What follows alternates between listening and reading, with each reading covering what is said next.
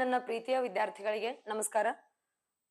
ಇವತ್ತು, ಇವತ್ತೊಂದರ ಒಂದು three days back ನಮಗೆ ಮತ್ತೆ ಒಂದು K P S C department ಕಡೆಯಿಂದ ಸಾಕಷ್ಟು ನೋಟಿಫಿಕೇಶನ್ಗಳನ್ನ ಬಿಡ್ತಾ ಇದ್ದಾನೆ. ಸೊ ಆಲ್ರೆಡಿ ನಮಗೆ ಈ ಒಂದು ಕೆ ಎಸ್ ಎಕ್ಸಾಮ್ ನೋಟಿಫಿಕೇಶನ್ ಬಂದಿದೆ. ಸೊ ಅದಾದ್ಮೇಲೆ ನೆಕ್ಸ್ಟ್ ಯಾವುದು ಅಂದ್ರೆ ವಿಲೇಜ್ ಅಕೌಂಟ್ ನೋಟಿಫಿಕೇಶನ್ ಬಿಟ್ಟಿದ್ದಾನೆ. ಸೊ ಅದೇ ರೀತಿ ಈ ಒಂದು K P S C department ಅಲ್ಲಿ ಲ್ಯಾಂಡ್ ಸರ್ವೈವರ್ ಅಂತ ಹೇಳ್ಬಿಟ್ಟು ಮತ್ತೊಂದು ಹೊಸದಾಗಿ ನೋಟಿಫಿಕೇಶನ್ ಅನ್ನ ಕರೆದಿದ್ದಾನೆ. ಅದ್ರ ಜೊತೆ ಬಿ ಎಂ ಟಿ ಸಿ ಒಳಗಡೆ ನೋಟಿಫಿಕೇಶನ್ ಅನ್ನ ಕರೆದಿದ್ದಾನೆ. ಸೊ ಈಗ ಆಲ್ರೆಡಿ ವಿಲೇಜ್ ಅಕೌಂಟ್ ರಿಲೇಟೆಡ್ ಆಗಿ ನಿಮ್ಗೆ ಆಲ್ಮೋಸ್ಟ್ ಕ್ಲಾಸಸ್ ಗಳನ್ನ ಕೇಳಿರ್ತೀರಾ ಅಂಡ್ ಏನ್ ಸಿಲಬಸ್ ಇದೆ. ಎಷ್ಟ್ ಪೇಪರ್ಸ್ ಇದಾವೆ. ಆಮೇಲೆ ಸಿಲಬಸ್ ಥ್ರೂ ಪೇಪರ್ ಒನ್ ಅಲ್ಲಿ ಏನಿದೆ? ಪೇಪರ್ ಟೂ ಒಳಗಡೆ ಏನಿದೆ? ಟೋಟಲ್ ಥೌಸಂಡ್ ಸೀಟ್ಸ್ ಅನ್ನ ನಾವು ಥೌಸಂಡ್ ಇವನ್ ಸೀಟ್ಸ್ ಇದಾವೆ. ಯಾವ್ದಕ್ಕೆ ಅಂದ್ರೆ ವಿಲೇಜ್ ಅಕೌಂಟೆಂಟ್ ರಿಲೇಟೆಡ್ ಆಗಿ. ಅದೇ ರೀತಿ ಅದ್ರ, ಅದಕ್ಕೆ ಸಂಬಂಧಪಟ್ಟಂತೆ ಒಂದ್ ರೀತಿ ವಿಲೇಜ್ ಅಕೌಂಟೆಂಟ್ ಕೊಟ್ಟಿದ್ದಾನೆ. ಇನ್ನೊಂದ್ ಕಡೆ ಏನ್ ಮಾಡಿದ್ರೆ? ಲ್ಯಾಂಡ್ ಸರ್ವೇವರ್ ನೋಟಿಫಿಕೇಶನ್ ಬಿಟ್ಟಿದ್ದಾನೆ. So next B M T C so ಇವಾಗ ನಾನು ಡಿಸ್ಕಷನ್ ಮಾಡ್ತಾ ಇರೋದು ಲ್ಯಾಂಡ್ ಸರ್ವೈವರ್ ಅಂತ ಏನ್ ಕರಿತೀವಿ ಅಥವಾ ಭೂ ಮಾಪನ ಕಂದಾಯ ವ್ಯವಸ್ಥೆ ಅಂತ ಏನ್ ಕರಿತೀವಿ? ಹೌದಾ? ಭೂ ಮಾಪನ ಕಂದಾಯ ವ್ಯವಸ್ಥೆ ಈ ಕಂದಾಯ ಇಲಾಖೆ ಒಳಗಡೆ ಕರೆದಿರ್ತಕ್ಕಂತ ಪೋಸ್ಟಿಂಗ್ ಇದು. ಸೊ ಹಾಗಾದ್ರೆ ಇದ್ರೊಳಗಡೆ ಏನೇನಿದೆ ಸಿಲೆಬಸ್ ಏನಿದೆ? ಯಾವ, ಎಷ್ಟು ವಯೋಮಿತಿ ಇದೆ? ಅಂಡ್ ಈ ಒಂದು ಫೀಸ್ ಎಷ್ಟಿದೆ? ಯಾವ ರೀತಿ ನಾವು ಆನ್ಲೈನ್ ಆನ್ಲೈನ್ ಅಲ್ಲಿ ಇದನ್ನ ಭರ್ತಿ ಮಾಡ್ಬೇಕು ಅಂತಕ್ಕಂಥದ್ದನ್ನ ಈ ವಿಷಯದ ಕುರಿತಾಗಿ ನಾನು ನಿಮಗೆ ಇವತ್ತು ಹೇಳ್ತಾ ಇದ್ದೇನೆ. ಯಾಕಂದ್ರೆ ಸುಮಾರು ಜನಕ್ಕೆ ಗೊತ್ತಿಲ್ಲ ಲ್ಯಾಂಡ್ ಸರ್ವೈವರ್ ಅಂದ್ರೆ ಏನು, ಏನ್ ಸಿಲೆಬಸ್ ಇದೆ ಅಂತಕ್ಕಂಥ ಕೆಲವೊಂದಿಷ್ಟು ಜನಕ್ಕೆ ಗೊತ್ತಿಲ್ಲ. ಸೊ ಹಾಗಾದ್ರೆ ನೀವು ಯಾವ್ದಕ್ಕೆ ಅಪ್ಲಿಕೇಬಲ್ ಆಗ್ತೀರಾ? ನಿಮ್ ಇಂಟ್ರೆಸ್ಟೆಡ್ ಏನಿದೆ? ನಿಮ್ ಇಂಟ್ರೆಸ್ಟಿಂಗ್ ಈ ಒಂದು ಸಬ್ಜೆಕ್ಟ್ಸ್ಗಳು ಏನೇನಿದಾವೆ ಅನ್ನೋದನ್ನ ತಲೆಲಿ ಇಟ್ಕೊಂಡು ಯಾವ್ದು ಅಪ್ಲಿಕೇಶನ್ ಹಾಕಿದ್ರೆ ನಿಮಗೆ ಸೂಟೇಬಲ್ ಆಗುತ್ತೆ ಅಂಡ್ ಯಾವ ಈಸಿಯಾಗಿ ನೀವು ಕ್ರ್ಯಾಕ್ ಮಾಡ್ತೀರಾ?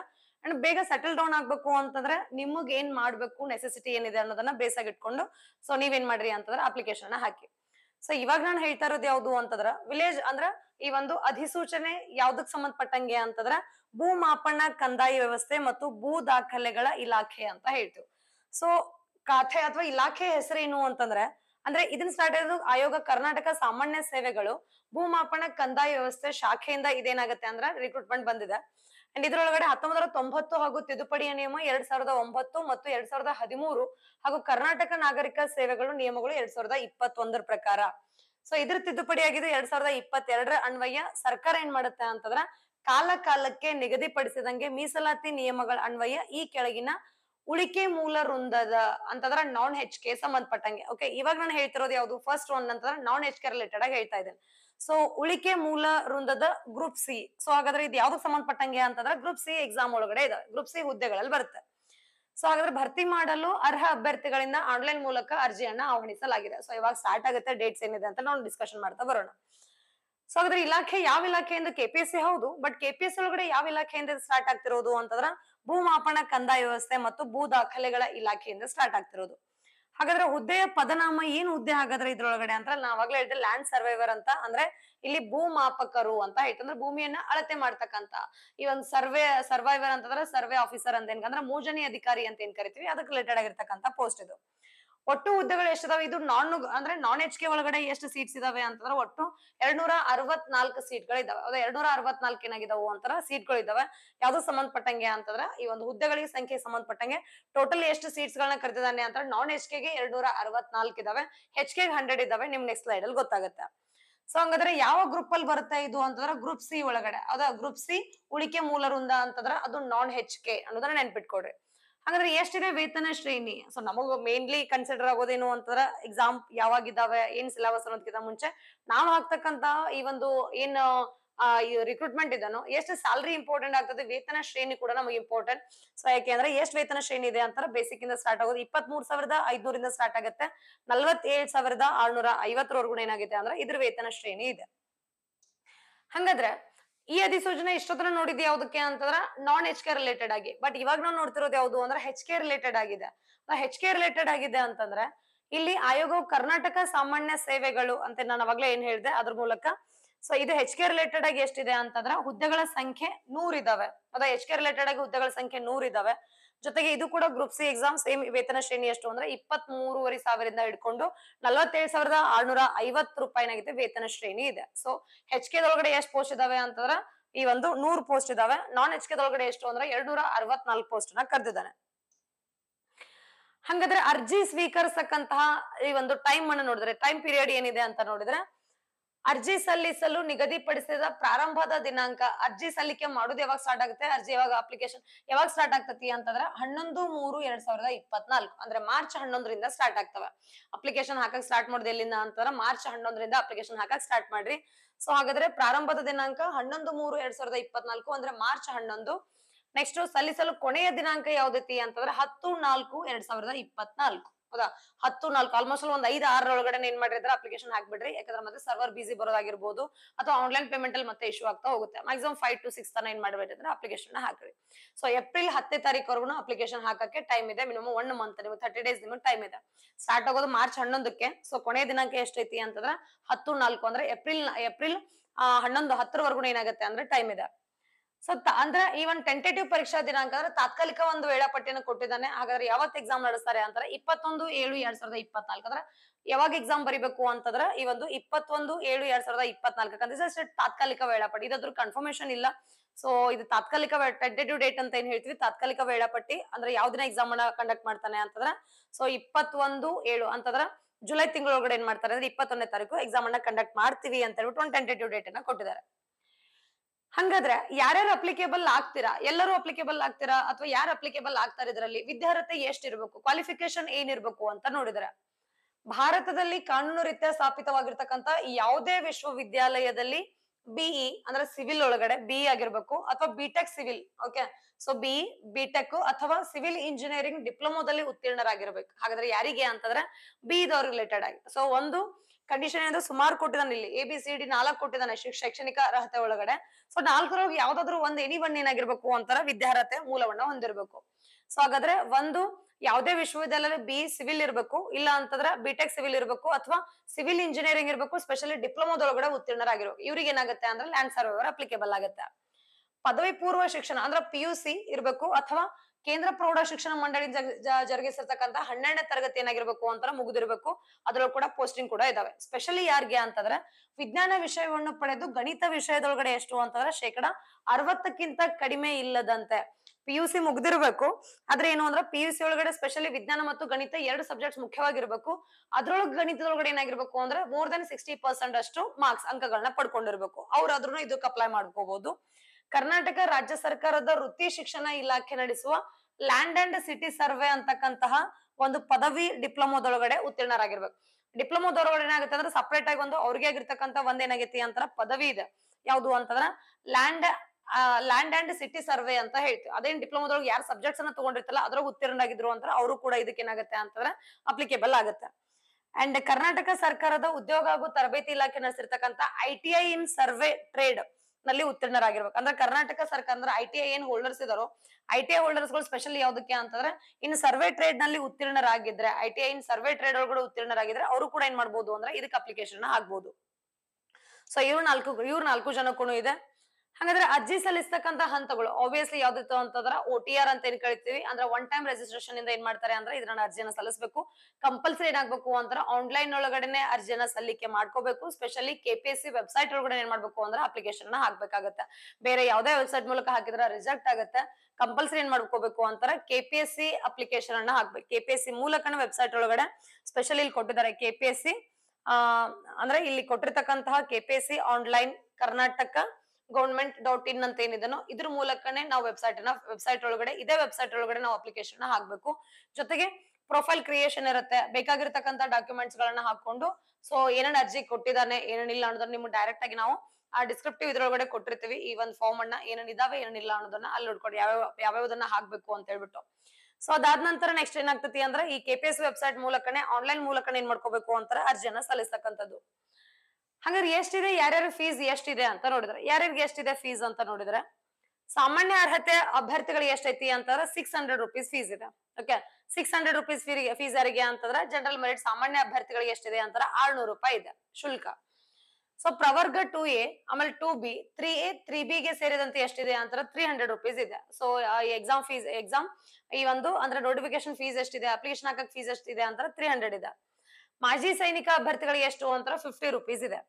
ಪರಿಶಿಷ್ಟ ಜಾತಿ, ಪರಿಶಿಷ್ಟ ಪಂಗಡದವರಿಗೆ ಪ್ರವರ್ಗ ಒಂದು ಹಾಗೂ ಅಂಗವಿಕಲ ಅಭ್ಯರ್ಥಿಗಳಿಗೆ ಯಾವುದೇ ಶುಲ್ಕ ಇರಂಗಿಲ್ಲ, ವಿನಾಯಿತಿ ಇರುತ್ತೆ. ಶುಲ್ಕ ಇಲ್ಲ.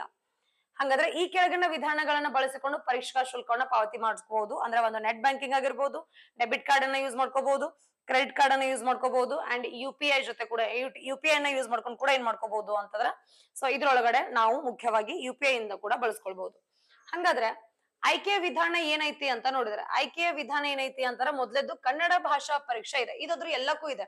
ಇನ್ನು ಮುಂದ್ಗಡೆ ಕೆಪಿಎಸ್ಸಿ ಡಿಪಾರ್ಟ್ಮೆಂಟ್ ಒಳಗಡೆ ಯಾವ್ದೋ ಒಂದು ರಿಕ್ರೂಟ್ಮೆಂಟ್ ಆದ್ರೂ ಕೂಡ ಕಡ್ಡಾಯ ಕನ್ನಡ ಪರೀಕ್ಷೆನ ಬರೀಲೇಬೇಕು ಕಂಪಲ್ಸರಿ ಮಾಡಿದ್ದಾರೆ. ಸೊ ಕಡ್ಡಾಯ ಕನ್ನಡ ಪರೀಕ್ಷೆ ಒಳಗಡೆ ಉತ್ತೀರ್ಣರಾಗ್ಲೇಬೇಕು. ಹಂಗಾದ್ರೆ ಕಡ್ಡಾಯ ಕನ್ನಡ ಪರೀಕ್ಷೆ ಏನಿದನೋ ಕನ್ನಡ ಭಾಷಾ ಪರೀಕ್ಷೆ ಏನಿದನೋ ಕರ್ನಾಟಕ ನಾಗರಿಕ ಸೇವೆ ಇದು ಕೂಡ ಇಟ್ಟಿರ್ತಕ್ಕಂತ ಕನ್ನಡ ಭಾಷೆಯ ಪ್ರಥಮ ಭಾಷೆ. ಅಂದ್ರೆ ಎಸ್ ಎಲ್ ಸಿ ಹಂತದಲ್ಲಿನ ಪ್ರಥಮ ಭಾಷೆ ಕನ್ನಡವನ್ನು ಮಾನದಂಡವನ್ನ ಇಟ್ಕೊಂಡು ಏನ್ ಮಾಡ್ತಾರೆ ಅಂದ್ರೆ ಇದನ್ನ ಪರೀಕ್ಷೆ ಮಾಡ್ತಿದ್ದಾರೆ. ಹಾಗಾದ್ರೆ ಈ ಪರೀಕ್ಷೆಯು ಟೋಟಲ್ ಎಷ್ಟಿರುತ್ತೆ ಅಂತಾರೆ ನೂರ ಐವತ್ತು ಅಂಕಗಳ ಒಂದು ಪ್ರಶ್ನೆ ಪತ್ರಿಕೆ ಇರುತ್ತೆ. ಓಕೆ ಹಾಗಾದ್ರೆ ಈ ಒಂದು ನೂರ ಐವತ್ ಅಂಕಗಳಲ್ಲಿ ಎಷ್ಟು ಮಾರ್ಕ್ಸ್ ತಗೊಳ್ಬೇಕು ಅಂತಂದ್ರೆ ಕನಿಷ್ಠ ಐವತ್ತು ಅಂಕಗಳನ್ನ ಬಳಸ್ಕೊಳ್ಬೇಕು. ಅಂದ್ರೆ ಪಾಸಿಂಗ್ ಮಾರ್ಕ್ಸ್ ಎಷ್ಟಿದೆ ಅಂತಂದ್ರೆ ಐವತ್ತು ಅಂಕಗಳು ಇದಾವೆ ಟೋಟಲ್ ಎಷ್ಟು ಅಂದ್ರೆ ನೂರ ಐವತ್ತು ಅಂಕಗಳಿಗೆ ಕಡ್ಡಾಯ ಕನ್ನಡ ಪರೀಕ್ಷೆ ಬರೀಬೇಕು. ಅದ್ರೊಳಗಡೆ ಪಾಸಿಂಗ್ ಎಷ್ಟೈತಿ ಅಂತಂದ್ರೆ ಕನಿಷ್ಠ ಐವತ್ ಅಂಕಗಳನ್ನ ಗಳಿಸಲೇಬೇಕು. ಸೊ ಇದು ಎಕ್ಸಾಮ್ ಫಸ್ಟ್ ಇರುತ್ತೆ. ಅದಾದ ನಂತರ ಲ್ಯಾಂಡ್ ಸರ್ವೇರ್ ಏನ್ ಎಕ್ಸಾಮ್ ಇರುತ್ತೋ ಆ ಎಕ್ಸಾಮ್ ಸೆಕೆಂಡ್ ಇರುತ್ತೆ. ಇವಾಗ ಬಿ ಎಂ ಟಿ ಇದು ಕಡ್ಡಾಯ ಕನ್ನಡ ಕಂಪಲ್ಸರಿ ಇದೆ. ವಿಲೇಜ್ ಅಕೌಂಟೆಂಟ್ ಕಡ್ಡಾಯ ಕನ್ನಡ ಕಂಪಲ್ಸರಿ ಇದೆ. ಸೊ ಹಾಗಾದ್ರೆ ಟೋಟಲ್ ನಮ್ಗೆ ಎಷ್ಟು ಅಂಕಗಳಿಗೆ ಇರ್ತೈತಿ ಅಂತ ನೂರ ಐವತ್ ಅಂಕಗಳಲ್ಲಿ ಇರುತ್ತೆ ಈ ಕನ್ನಡ ಈ ಒಂದು ಕಡ್ಡಾಯ ಕನ್ನಡದೊಳಗಡೆ ನಾವೇನು ಓದ್ಬೇಕು? ವರ್ಣಮಾಲೆಗಳು ಗೊತ್ತಿರಬೇಕು. ಹೌದಾ? ಅಲ್ಲಿಂದ ನಮಗೇನು ಅಂತಂದ್ರ ಸಂಧಿಗಳಂದ್ರ ಏನ್ ಗೊತ್ತಿರ್ಬೇಕು? ಸ್ವರ ಸಂಧಿಗಳು, ವ್ಯಂಜನ ಸಂಧಿಗಳಾಗಿರ್ಬೋದು, ಆಮೇಲೆ ಸಮಾಸಗಳಾಗಿರ್ಬೋದು, ಅಲಂಕಾರಗಳಾಗಿರ್ಬೋದು, ಹೌದಾ? ಸೊ ಇವೆಲ್ಲವೂ ಏನಾಗಿರ್ಬೇಕು ಅಂದ್ರೆ ಗೊತ್ತಿರ್ಬೇಕು. ಜೊತೆಗೆ ಕೆಲವೊಂದಿಷ್ಟು ಕವಿಗಳ ಕಿರು ಪರಿಚಯ ಗೊತ್ತಿರ್ಬೇಕು. ಸಾಹಿತ್ಯ ಆಗಿರ್ಬೋದು, ಹೌದಾ? ಈ ಸಾಹಿತ್ಯಗಳ ಬಗ್ಗೆ ಆಗಿರ್ಬೋದು, ಅಥವಾ ಪ್ರಶಸ್ತಿಗಳ ಬಗ್ಗೆ ಆಗಿರ್ಬೋದು, ಕೃತಿಗಳ ಬಗ್ಗೆ ಆಗಿರ್ಬೋದು, ಈ ತರದ ಕನ್ನಡ ಭಾಷೆ ಬಗ್ಗೆ ಜ್ಞಾನವನ್ನ ಹೊಂದಿರಬೇಕು. ಸೊ ಫಿಫ್ಟಿ ಮಾರ್ಕ್ಸ್ ಏನಾಗಿರ್ಬೇಕು ಅಂತಂದ್ರೆ ಈ ಒಂದು ಪೇಪರ್ ಇರತ್ತೆ. ಸೊ ಅದಾದ ನಂತರ ಕನ್ನಡ ಭಾಷಾ ಪರೀಕ್ಷೆಯಲ್ಲಿ ಅರ್ಹರಾದ ನಂತರ ಕರ್ನಾಟಕ ನಾಗರಿಕ ಸೇವಾ ನಿಯಮಗಳು ಎರಡ್ ಸಾವಿರದ ಇಪ್ಪತ್ತೊಂದು ಹಾಗೂ ತಿದ್ದುಪಡಿ ಎರಡ್ ಸಾವಿರದ ಇಪ್ಪತ್ತೆರಡರ ಪ್ರಕಾರ, ಅಂದ್ರೆ ನೀವ್ ಯಾವ್ದಕ್ಕ ಮೀಸಲಾತಿ ಒಳಗಾಗ್ತಿರ್ತಾರೋ, ಅಂದ್ರೆ ಯಾವ ಒಂದು ಅಪ್ಲಿಕೇಶನ್ಸ್ ಅನ್ನ ಎಕ್ಸಾಮ್ ಅನ್ನ ಕಂಡಕ್ಟ್ ಮಾಡ್ತಾರೋ ಅದಕ್ಕೆ ನಿಮಗೆ ಏನಾಗುತ್ತೆ ಅಂದ್ರೆ ಅರ್ಹರು ಅಂತ ಹೇಳ್ಬಿಟ್ಟು ಕೊಡ್ತಾರೆ ಒಂದ್ ಸರ್ಟಿಫಿಕೇಟ್ ಏನ್ ಕೊಡುತ್ತೋ, ಒಂದ್ ಸರ್ತಿ ಎಕ್ಸಾಮ್ ಬರ್ದ್ಬಿಟ್ಟು ಪಾಸ್ ಆದ್ರೆ ಆಯ್ತು. ನೆಕ್ಸ್ಟ್ ಬರ್ತಕ್ಕಂತ ಎಲ್ಲಾ ಎಕ್ಸಾಮ್ಸ್ ಅಂದ್ರೆ ಎವ್ರಿ ಟೈಮ್ ಬರಿಬೇಕಂತೇನಿಲ್ಲ ಸೊ ಒನ್ ಟೈಮ್ ಬರೆದ್ರೆ ಏನಾಗುತ್ತೆ ಅಂತಂದ್ರ ಸಾಕು ಪಾಸ್ ಆದ್ರೆ. ಅಭ್ಯರ್ಥಿಗಳು ಆಯ್ಕೆ ಪ್ರಕ್ರಿಯೆ ಅರ್ಹತೆ ಹೊಂದಲು ಕನ್ನಡ ಭಾಷಾ ಪರೀಕ್ಷೆಯಲ್ಲಿ ಅರ್ಹತೆ ಹೊಂದುವುದು ಕಡ್ಡಾಯವಾಗಿರುತ್ತೆ ನಾನು ಅದೇ ಹೇಳ್ತಾ ಇರೋದು, ಕಡ್ಡಾಯ ಕನ್ನಡ ಇದು. ಅದ ಕಂಪಲ್ಸರಿ ನೆಕ್ಸ್ಟ್ ನಿಮ್ಗೆ ಎಕ್ಸಾಮ್ ಬೇಕು ಕೆಪಿಎಸ್ ಡಿಪಾರ್ಟ್ಮೆಂಟ್ ಅಲ್ಲಿ ಅಂತ ಕನ್ನಡ ಭಾಷೆ ಒಳಗಡೆ ಏನಾಗಿರ್ಬೇಕು ಅಂದ್ರ ಪಾಸ್ ಆಗ್ಲೇಬೇಕು, ಅರ್ಹತೆ ಹೊಂದಿರಲೇಬೇಕು. ಸೊ ಸ್ಪರ್ಧಾತ್ಮಕ ಪರೀಕ್ಷಾ ವಿಧಾನ ಏನಿದೆ ಹಂಗಾದ್ರೆ ಅಂತಂದ್ರೆ ಟೋಟಲ್ ಎಷ್ಟಿದಾವು ಅಂದ್ರೆ ಎರಡು ಪೇಪರ್ಸ್ಗಳು ಇದಾವೆ ಸಾಮಾನ್ಯ ಪತ್ರಿಕೆ, ನಿರ್ದಿಷ್ಟ ಪತ್ರಿಕೆ. ಇದು ಏನಾಗೈತಿ ಅಂತಂದ್ರ ಸೆಲೆಕ್ಟಿವ್ ಒಂದ್ ಪೇಪರ್ ಏನಾಗೈತಿ ಅಂದ್ರೆ ಸೆಲೆಕ್ಟೆಡ್ ಟಾಪಿಕ್ಸ್ಗಳು ಇದಾವೆ ಇದ್ರೊಳಗಡೆ. ಯಾಕಂದ್ರೆ ಡಿಪ್ಲೊಮೋದವ್ರು ಇದಾರೆ ಓಕೆ ಬಿ ದವ್ರು ಇದಾರೆ. ಅವರಿಗೋಸ್ಕರ ಏನಾಗೈತಿ ಅಂತಾರೆ ಸೆಲೆಕ್ಟೆಡ್ ಟಾಪಿಕ್ಸ್ಗಳು ಇದಾವೆ ಐ ಟಿ ಎದವ್ರು ಇದಾರೆ. ಸೊ ಹಾಗಾಗಿ ಒಂದ್ ಪೇಪರ್ ಏನಾಗೈತಿ, ನಿರ್ದಿಷ್ಟ ಪತ್ರಿಕೆ ಇದೆ, ಇನ್ನೊಂದ್ ಪೇಪರ್ ಯಾವುದು ಅಂತಾರೆ ಸಾಮಾನ್ಯ ಪತ್ರಿಕೆ ಇದೆ. ಹಂಗಾದ್ರೆ ಇದ್ರೊಳಗಡೆ ಟೋಟಲಿ ಎಷ್ಟು ಅಂದ್ರೆ ಪೇಪರ್ ಒನ್ ಎರಡ್ನೂರ್ ಮಾರ್ಕ್ಸ್ ಇರುತ್ತೆ. ಪೇಪರ್ ಟು ಏನಾಗೈತಿ ಅಂದ್ರೆ ಎರಡ್ನೂರ್ ಮಾರ್ಕ್ಸ್ ಇದೆ. ಸಾರಿ ಎರಡ್ನೂರ್ ಅಂಕಗಳು, ಇದು ಎರಡ್ನೂರ್ ಅಂಕಗಳು ಟೋಟಲ್ ಎಷ್ಟು ಅಂದ್ರೆ ಫೋರ್ ಹಂಡ್ರೆಡ್ ಮಾರ್ಕ್ಸ್ ಇರುತ್ತೆ. ಅದಕ್ಕೂ ಎರಡು ಗಂಟೆ ಸಮಯ ಇದೆ, ಇದಕ್ಕೂ ಎರಡು ಗಂಟೆ. ಅಂದ್ರೆ ಪೇಪರ್ ಒನ್ ಪೇಪರ್ ಟು ಎರಡಕ್ಕೂ ಪೇಪರ್ ಒನ್ ಏನಿದೆ ಅಂದ್ರೆ ಸಾಮಾನ್ಯ ಪತ್ರಿಕೆ, ಅಂದ್ರೆ ಜನರಲ್ ಸ್ಟಡೀಸ್ ಏನಿರುತ್ತೋ ಎಲ್ಲಾನು ಸಾಮಾನ್ಯ ಪತ್ರಿಕೆ ಟೂ ಹಂಡ್ರೆಡ್ ಮಾರ್ಕ್ಸ್ಗೆ ಪರೀಕ್ಷಾ ಸಮಯ ಎಷ್ಟು ಅಂತಾರ? ಎರಡು ಗಂಟೆ. ಪತ್ರಿಕೆ ಟು ಏನಾಗುತ್ತೆ ಅಂದ್ರೆ ನಿರ್ದಿಷ್ಟ ಪತ್ರಿಕೆ ಅಂದ್ರೆ ಸೆಲೆಕ್ಟಿವ್ ಟಾಪಿಕ್ಸ್ಗಳು ಡಿಪ್ಲೊಮಾದವ್ರಿಗೆ ಬಿ ದವ್ರಿಗೆ ಏನಿದಾವೆ ಅವೇ ಸೆಲೆಕ್ಟಿವ್ ಟಾಪಿಕ್ಸ್ಗಳು ಇರ್ತವೆ. ಅಂಡ್ ಅದ್ರೊಳಗಡೆ ಅಂದ್ರೆ ಅದ್ರೊಳಗಡೆ ಟ್ವೆಂಟಿ ಫೈವ್ ಪರ್ಸೆಂಟ್ ಏನಾಗೈತಿ ಅಂದ್ರೆ ಫಿಸಿಕ್ಸ್ ರಿಲೇಟೆಡ್ ಇರ್ತವೆ ಸೆವೆಂಟಿ ಫೈವ್ ಪರ್ಸೆಂಟ್ ಏನಾಗಿರ್ತತಿ ಅಂದ್ರೆ ಮ್ಯಾಥ್ಸ್ ರಿಲೇಟೆಡ್ ಆಗಿರ್ತವೆ. ಮ್ಯಾಥ್ಸ್ ರಿಲೇಟೆಡ್ ಅರ್ಥಮೆಟಿಕ್ ಆಗಿರ್ಬೋದು, ಹೌದಾ? ಜಿಯೋಮೆಟ್ರಿಕಲ್ ಆಗಿರ್ಬೋದು, ಅಥವಾ maths and mental ability reasoning apti total ಎಷ್ಟು ಸೇರ್ಕೊಂಡು ಅಂತಾರೆ ಟೂ ಹಂಡ್ರೆಡ್ ಮಾರ್ಕ್ಸ್ ಇದೆ. ಅಂಡ್ ಫಿಸಿಕ್ಸ್ ಇರುತ್ತೆ. ಸೊ ಎಷ್ಟು ಅಂದ್ರೆ ಇದಕ್ಕೂ ಕೂಡ ಎರಡು ಗಂಟೆ ಟೈಮ್ ಇದೆ. ಹಾಗಾದ್ರೆ ಜನರಲ್ ಪೇಪರ್ ಒಳಗಡೆ ಏನೇನಿದೆ ಪೇಪರ್ ಒನ್ ಒಳಗಡೆ ಕಂಪ್ಲೀಟ್ ಜನರಲ್ ನಾಲೆಜ್ ಇದೆ. ಕಂಪ್ಲೀಟ್ ಆಗಿ ಏನು ಅಂತಂದ್ರೆ ಜನರಲ್ ನಾಲೆಜ್ ಇದೆ. ಅದ್ರ ಜೊತೆಗೆ ಏನು ಅಂತಂದ್ರೆ ಕರೆಂಟ್ ಅಫೇರ್ಸ್ ಇದೆ. General knowledge general knowledge general study ಅಂತಂದ್ರೆ ನಿಮ್ದು ಎಲ್ಲಾ ಸಬ್ಜೆಕ್ಟ್ಸ್ ಬಂತು. I C geography history economics science related ಆಗಿರ್ತಕ್ಕಂಥ ಎಲ್ಲಾನು ಬಂತು. ಜೊತೆಗೆ ಏನು ಅಂತಂದ್ರೆ ಕರೆಂಟ್ ಅಫೇರ್ಸ್ ಇದೆ. ಓಕೆ ಸೊ ಕರೆಂಟ್ ಅಫೇರ್ಸ್ ಕೂಡ ಏನಾಗುತ್ತೆ ಅಂತಂದ್ರೆ ಇದ್ರಲ್ಲಿದೆ. ಜೊತೆಗೆ general science and matters of everyday observation ಅಂದ್ರೆ ದೈನಂದಿನ ಗ್ರಹಿಕೆ ವಿಷಯಗಳು ಅಂತ ಏನ್ ಕರಿತೀವಿ? ಸೊ ಅವುಗಳಿರ್ತವೆ ಜೊತೆಗೆ ಯಾವುದು ಅಂತಂದ್ರೆ ಈ ಒಂದು knowledge as may be expected of a person who has passed the ಅಂದ್ರೆ ಇವಾಗ ದೈನಂದಿನ ಗ್ರಹಿಕೆ ವಿಷಯಗಳು ಅಂತ ಏನ್ ಕರಿತೀವಿ? ಪ್ರಚಲಿತ ಘಟನೆಗಳು ಇರುತ್ತೆ. ಜೊತೆಗೆ ಯಾವುದು ಅಂದ್ರೆ ದೈನಂದಿನ ಈ ಒಂದು ಗ್ರಹಿಕೆಯ ವಿಷಯಗಳು. ಅಂದ್ರೆ ಒಂದು ಎಕ್ಸಾಮ್ ಕ್ವಾಲಿಫೈಯಿಂಗ್ ಆಗಕ್ಕೆ ದೈನಂದಿನ ಗ್ರಹಿಕೆ ವಿಷಯಗಳು ಏನೇನ್ ಮ್ಯಾಟರ್ ಆಗ್ತವೆ? ಯಾವ್ದಕ್ ರಿಲೇಟೆಡ್ ಇರುತ್ತೆ ಇವನ್ ಸೈನ್ಸ್ ಆಗಿರ್ಬೋದು, ಅದ್ ಇವನ್ ಜೋಗ್ರಫಿ ಡೈಲಿ ಏನ್ ಏನ್ ಕೇಳಿ ಬರ್ತೀವಿ? ಅಂದ್ರೆ ಅಪ್ಲೈಡ್ ಸೈನ್ಸ್ ಅಪ್ಲೈಡ್ ಜೋಗ್ರಫಿ ಆ ತರದ್ ಏನಾಗಿರ್ತದೆ ಅಂದ್ರೆ ಕ್ವಶನ್ ರೈಸ್ ಮಾಡ್ತಾನೆ. ಸೊ ಟೋಟಲ್ ಜನರಲ್ ಪೇಪರ್ ಏನಾಗುತ್ತೆ ಅಂದ್ರೆ ಇವುಗಳನ್ನ ಒಳಗೊಂಡಿದೆ. ಸೆಕೆಂಡ್ ಪೇಪರ್ ಒಳಗಡೆ ಏನಾಗುತ್ತೆ ಅಂತಂದ್ರೆ ಸೆಕೆಂಡ್ ಪೇಪರ್ ಒಳಗಡೆ ಏನಿದೆ ಅಂತಂದ್ರೆ ಅದಕ್ಕೆ ಆಗಿರ್ತಕ್ಕಂಥ ಸೆಲೆಕ್ಟೆಡ್ ಟಾಪಿಕ್ಸ್ ಇದಾವೆ ಅಂತ ಹೇಳಿದೆ ಹೌದಾ? ಸೆಲೆಕ್ಟೆಡ್ ಟಾಪಿಕ್ಸ್ ಇದಾವೆ. ಅದರೊಳಗೆ ಸ್ಪೆಷಲಿ ಮ್ಯಾಥಮೆಟಿಕ್ಸ್ ಸೆವೆಂಟಿ ಪರ್ಸೆಂಟ್ ಅಷ್ಟು ಕಂಪ್ಲೀಟ್ ಮ್ಯಾಥಮೆಟಿಕ್ಸ್ ಕೇಳ್ತಾನೆ. ಫಿಸಿಕ್ಸ್ ಟ್ವೆಂಟಿ ಪರ್ಸೆಂಟ್ ಇದೆ. ಜಿಯೋಗ್ರಫಿ ಟೆನ್ ಪರ್ಸೆಂಟ್ ಇದೆ. ಆಮೇಲೆ ಅರ್ಥಮೆಟಿಕ್ ನಂಬರ್ ಸಿಸ್ಟಮ್ ಇದೆಲ್ಲ ಸೇರ್ಕೊಂಡು ಏನಾಗುತ್ತೆ ಅಂದ್ರೆ ನಿಮ್ಗೆ ಹಂಡ್ರೆಡ್ ಟೂ ಹಂಡ್ರೆಡ್ ಮಾರ್ಕ್ಸ್ಗೆ ಸೆಕೆಂಡ್ ಪೇಪರ್ ಇದೆ. ಸೊ ಇದು ಯಾವುದು ಅಂತಂದ್ರೆ ಇಷ್ಟೊತ್ತರ ನಾನು ಹೇಳಿದ್ದು ಲ್ಯಾಂಡ್ ಸರ್ವೆ ರಿಲೇಟೆಡ್ ಆಗಿ ಅಂದ್ರೆ ಭೂ ಮಾಪನ ಮಾಪಕರು ಅಂತ ಏನ್ ಕರಿತೀವೋ ಅದಕ್ಕೆ ರಿಲೇಟೆಡ್ ಆಗಿರ್ತಕ್ಕಂತಹ ರಿಕ್ರೂಟ್ಮೆಂಟ್ ಇಷ್ಟೊತ್ತರ ನಾನು ಹೇಳಿದ್ದೆ ಏನು ಅಂತಂದ್ರೆ ಅದ್ರ ಬಗ್ಗೆ. ಅಂಡ್ ಇಲ್ಲಿ ಪಾಸ್ ಆದ್ರಿ ಅಂತಂದ್ರೆ, ನಿಮಗೆ ಏನಾಗಿರ್ತತಿ ಅಂತಂದ್ರ, ಎರಡು ವರ್ಷಗಳ ಕಾಲ ಪರಿವೀಕ್ಷಣಾ ಅವಧಿ ಇರುತ್ತೆ. ಅಂದ್ರೆ ಪ್ರೊಬೇಷನರಿ ಪೀರಿಯಡ್ ಅಂತ ಏನ್ ಹೇಳ್ತೀವಿ? ಸೊ ಎಷ್ಟು ವರ್ಷ ಇರುತ್ತೆ ಅಂತ ಎರಡು ವರ್ಷಗಳ ಕಾಲ ಪ್ರೊಬೇಷನರಿ ಪೀರಿಯಡ್ ಇರುತ್ತೆ. ಜೊತೆಗೆ, ಇಲ್ಲಿ ಈ ಅಭ್ಯರ್ಥಿಗಳು ಅಂದ್ರ ಆರು ತಿಂಗಳ ಭೂ ಭೂಮಾಪಕರ ವೃತ್ತಿ, ಬುನಾದಿ ತರಬೇತಿಯನ್ನು ಇಲಾಖಾ ತರಬೇತಿ ಸಂಸ್ಥೆಯಲ್ಲಿ ಯಶಸ್ವಿಯಾಗಿ ಪೂರೈಸ, ಅಂದ್ರ ಸಿಕ್ಸ್ ಮಂತ್ಸ್ ಟ್ರೈನಿಂಗ್ ಟ್ರೈನಿಂಗ್ ಇರುತ್ತೆ. ಜೊತೆಗೆ ಎರಡು ವರ್ಷ ಏನಾಗಿರ್ತತಿ ಅಂದ್ರೆ ಪ್ರೊಬೇಷನರಿ ಪೀರಿಯಡ್ ಇರುತ್ತೆ. ಇನ್ನ ನಾವಾಗ್ಲೇ ಹೇಳಿದೆ ಪಿ ಯು ಸಿ ಮುಗಿಸ್ಕೊಂಡವ್ರು ಕೂಡ ಏನ್ ಮಾಡ್ಬೋದು ಅಂದ್ರೆ ಇದ್ರೊಳಗಡೆ ಸ್ಪೆಷಲಿ ವಿಜ್ಞಾನ ಮತ್ತು ಗಣಿತದ ಇತ್ತು ಅಂತಂದ್ರೆ, ಅದ್ರೊಳಗಡೆ ಗಣಿತದಲ್ಲಿ sixty percent more than sixty percent ಮಾಡಿದ್ರು ಅಂತಾರ, ಅಂಥವ್ರು ಏನ್ ಮಾಡ್ತಾರೆ ಅಂದ್ರೆ ಅವ್ರಿಗೆ ಎಷ್ಟು ದಿನ ಟ್ರೈನಿಂಗ್ ಇದೆ ಅಂತಂದ್ರೆ ಒಂಬತ್ತು ತಿಂಗಳ ಕಾಲ ಟ್ರೈನಿಂಗ್ ಇರುತ್ತೆ ಓಕೆ ಸೊ ಒಂಬತ್ತು ತಿಂಗಳ ಕಾಲ ಏನ್ ಮಾಡ್ತಾರೆ ಅಂತಾರೆ ಟ್ರೈನಿಂಗ್ ಇರುತ್ತೆ. So first time first attempt ಒಳಗಡೆ ಏನ್ ಮಾಡ್ರಿ ಅಂತಂದ್ರೆ, ಇದ್ರೊಳಗಡೆ, ಆ ಟ್ರೈ ಮಾಡ್ರಿ, ಚೆನ್ನಾಗಿರೋದು ಪೋಸ್ಟ್ ಇದ್ರೊಳಗಡೆ ಕಡ್ಡಾಯವಾಗಿ, ನಿಯತ್ತಾಗಿ, ಪ್ರಾಮಾಣಿಕತೆಯಿಂದ ಉತ್ತೀರ್ಣರಾಗಬೇಕು.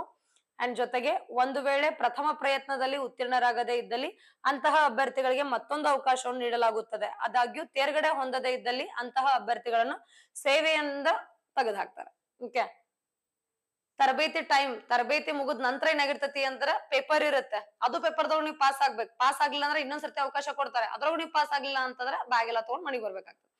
ಆಯ್ತಾ? ಯಾಕಂದ್ರೆ ಟ್ರೈನಿಂಗ್ ಆದ ನಂತರ ಎಷ್ಟು ಕಲ್ತಿ ಟ್ರೈನಿಂಗ್ ಟೈಮ್ ಮಾಡಿದ್ರೆ ಟೆಸ್ಟ್ ಮಾಡಕ್ಕೆ ಎಕ್ಸಾಮ್ ಅನ್ನ ಕೊಡ್ತಾರೆ. ಸೊ ಹಾಗಾದ್ರೆ ವಯೋಮಿತಿ ಎಷ್ಟಿದೆ ಇದಕ್ಕೆ? ಓಕೆ ಎಷ್ಟು ಏಜ್ ಇಂದ ಎಷ್ಟು ಏಜ್ ತನ ಹಾಕ್ಬೋದು ಕನಿಷ್ಠ ಹದಿನೆಂಟು ವರ್ಷ. ಓಕೆ ಕನಿಷ್ಠ ಪಿ ಯು ಸಿ ಮುಗಿದಿರ್ತದಂದ್ರೆ ಒಬ್ಬಿಯಸ್ಲಿ ಹದಿನೆಂಟು ವರ್ಷ ಇರುತ್ತೆ. ಸಾಮಾನ್ಯ ಅರ್ಹತೆ ಎಷ್ಟು ಅಂತಾರ ಗರಿಷ್ಠ ಮೂವತ್ತೈದು ವರ್ಷ. ಸಾಮಾನ್ಯ ಅಭ್ಯರ್ಥಿ ಸಾಮಾನ್ಯ ಅರ್ಹತೆ ಎಷ್ಟು ಅಂದ್ರೆ ಮೂವತ್ತೈದು ವರ್ಷ. ಪ್ರವರ್ಗ two A two B three A three ಬಿದವ್ರಿಗೆ ಎಷ್ಟು ಅಂತಾರ ಮೂವತ್ತೆಂಟು ವರ್ಷ. ಪರಿಶಿಷ್ಟ ಜಾತಿ ಪಂಗಡ ಮತ್ತು ಪರಿಶಿಷ್ಟ, ಇವ ಪರಿಶಿಷ್ಟ ಜಾತಿ ಮತ್ತು ಪರಿಶಿಷ್ಟ ಪಂಗಡದವ್ರ ಪ್ರವರ್ಗ ಒಂದ್ರವ್ರಿಗೆ ಎಷ್ಟು ಅಂದ್ರೆ ಗರಿಷ್ಠ ನಲ್ವತ್ತು ವರ್ಷ ಅಂತ ಇದೆ. ವಯೋಮಿತಿ ಇದೆ. ಸೊ ಇದಿಷ್ಟು ಏನು ಅಂದ್ರೆ ನಾನು ಹೇಳಿದ ಇಷ್ಟೊತ್ತನ. ಲ್ಯಾಂಡ್ ಸರ್ವರ್ ಸಂಬಂಧಪಟ್ಟಂಗೆ ಹೇಳಿದ್ದು. ಭೂಕಂದ ಇಲಾಖೆ ಒಳಗಡೆ ಮಾಪನ ಮಾಡಿರ್ತಕ್ಕಂಥ ಸರ್ವೆ ಮೋಜನಿ ಅಧಿಕಾರಿ ಅಂತ ಏನ್ ಕರಿತೀವಿ? ಸೊ ಸರ್ವೆ ಆಫೀಸರ್ ಅಂತ ಏನ್ ಕರಿತೀವಿ? ಅದಕ್ಕೆ ರಿಲೇಟೆಡ್ ಆಗಿರ್ತಕ್ಕಂತಹ ಈ ಒಂದು ಭೂ ಮಾ, ಭೂ ಮಾಲೀಕರು ಅಥವಾ ಭೂ ಮಾಪನಾಧಿಕಾರಿಗಳು ಅಂತ ಹೇಳ್ತೀವಿ.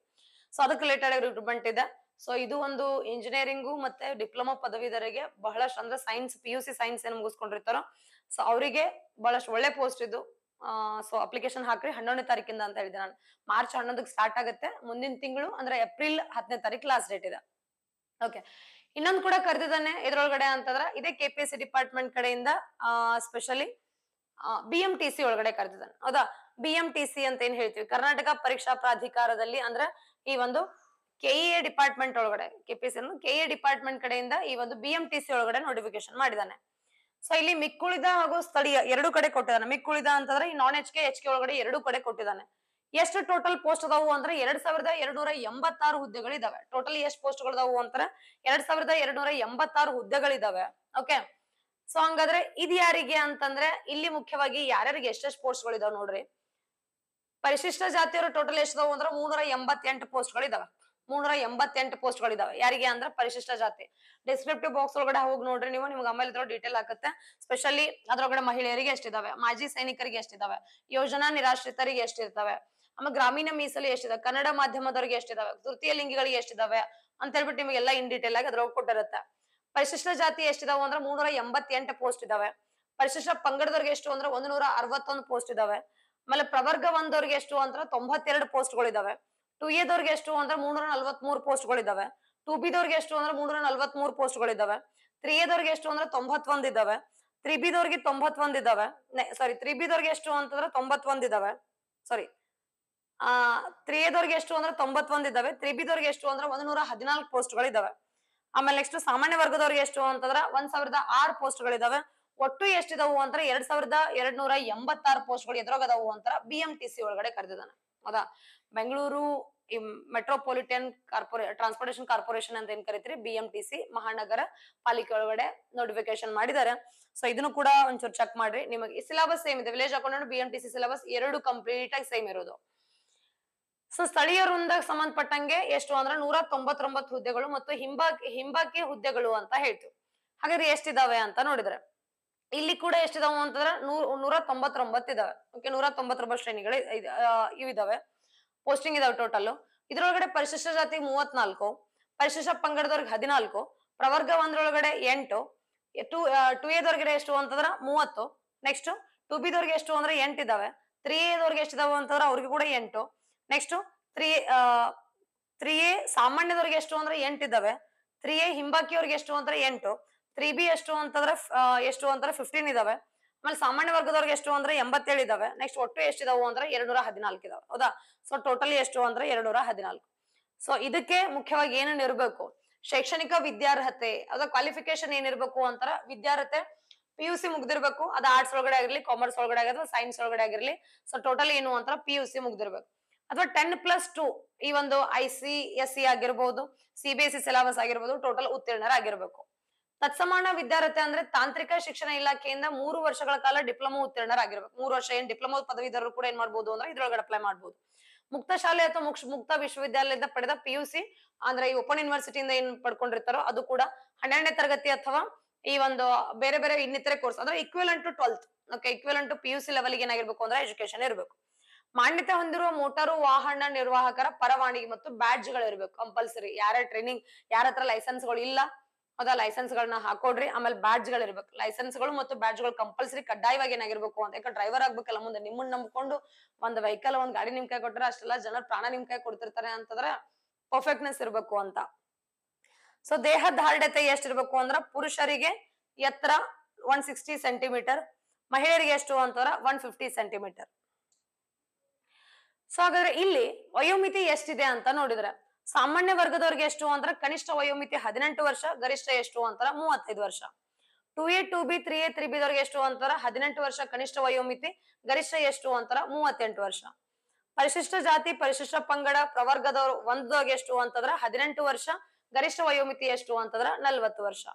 ಮಾಜಿ ಸೈನಿಕ ಇಲಾಖೆ ಅಭ್ಯರ್ಥಿಗಳಿಗೆ ಕನಿಷ್ಠ ವಯೋಮಿತಿ ಏನಾಗೈತಿ ಅಂತ ಈ ಲಿಮಿಟೇಷನ್ಸ್ ಏನಿಲ್ಲ ಬಟ್ ಗರಿಷ್ಠ ವಯೋಮಿತಿ ಎಷ್ಟು ಅಂತಂದ್ರ? ನಲ್ವತ್ತೈದು ವರ್ಷ. ಹಾಗಾದ್ರೆ ಇಲ್ಲಿ ಏನಾಗ್ತತಿ ಅಂತಂದ್ರ ಇದಿಷ್ಟು ವಯೋಮಿತಿ ಕುರಿತಾಗಿರೋದು. ಸೊ ಇದಾದ ನಂತರ ತರಬೇತಿ ಅವಧಿ, ಭತ್ತೆ ಮತ್ತು ವೇತನ ಶ್ರೇಣಿ ಎಷ್ಟಿದಾವೆ? ನಿರ್ವಾಹಕ ಹುದ್ದೆಗಳಿಗೆ ಆಯ್ಕೆಯಾದ ಅಭ್ಯರ್ಥಿಗಳು ಒಂದು ವರ್ಷಗಳ ಕಾಲ ಏನ್ ಮಾಡ್ತಾರೆ ಅಂದ್ರೆ ವೃತ್ತಿಪರ ತರಬೇತಿಯನ್ನ ಕೊಡ್ತಾರೆ. ಹಂಗಾದ್ರೆ ನಿಯೋಜಿಸಲಾಗುವುದು. ಈ ತರಬೇತಿ ಅವಧಿಯಲ್ಲಿ ಮಾಸಿಕ ಸಮಗ್ರ ತರಬೇತಿ ಭತ್ತೆಯಾಗಿ ಒಂಬತ್ ಸಾವಿರದ ಅಂದ್ರೆ ಒಂದು ನೂರು ರೂಪಾಯಿ ಏನ್ ಮಾಡ್ತಾರೆ ಅಂದ್ರೆ ಇದು ಟ್ರೈನಿಂಗ್ ಪೀರಿಯಡ್ ಒಳಗಡೆ ಎಷ್ಟಿರ್ತತಿ ಅಂತ ಭತ್ತೆಗಾಗಿ ಒಂಬತ್ ಸಾವಿರದ ಒಂದು ನೂರು ರೂಪಾಯಿ ಇರುತ್ತೆ.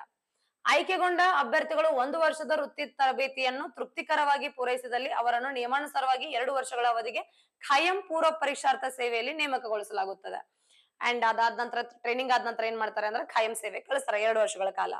ಸೊ ನಿರ್ವಾಹಕರಿಗೆ ಎಷ್ಟು ವೇತನ ಇರ್ತದೆ ನೋಡ್ರಿ. ನಿರ್ವಾಹಕರಿಗೆ ಹದಿನೆಂಟು ಸಾವಿರದ ಆರ್ನೂರ ಅರವತ್ತರ ಅರವತ್ತರಿಂದ ಹಿಡ್ಕೊಂಡು ಹತ್ತೊಂಬತ್ ಸಾವಿರ ಇದೆ. ಆಮೇಲೆ ನೆಕ್ಸ್ಟ್ ಇಪ್ಪತ್ ಸಾವಿರದ ಎರಡ್ನೂರ ನಲ್ವತ್ತರ ತನ ಇದೆ. ಹೌದಾ?